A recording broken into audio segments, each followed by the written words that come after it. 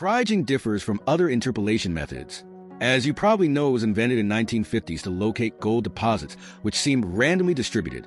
It makes predictions at unsampled locations based on correlation between data points. It not only estimates the value at an unsampled point, but also provides a measure of uncertainty expressed as variance. Kriging is very easy to run in SGEMS.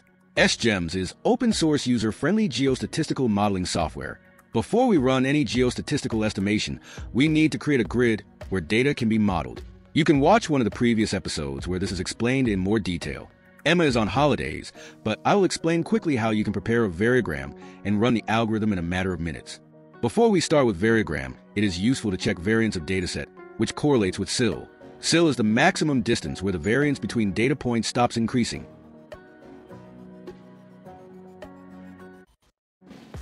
Data points are grouped into lags. We will need to specify number of lags and their length or separation.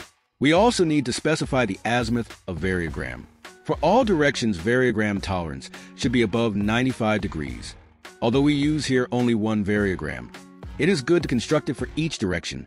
These directions are defined by geological structures. For example, we can align variograms along and across the direction of strata dip.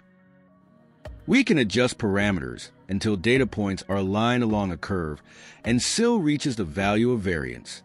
Once we are happy with our variogram, we need to adjust the curve to define the maximum and minimum ranges for kriging. We can use the variance we have read from the data histogram to specify sill.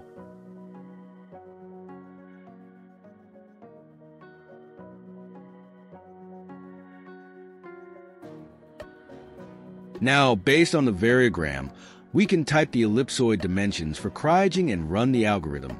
If you have data from many directions, you can also include them in this section.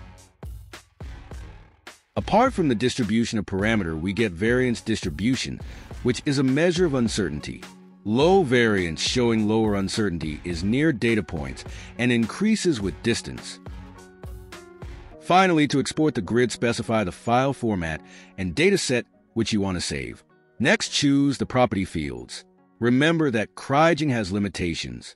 For example, struggles with datasets with abrupt changes or no stationary data.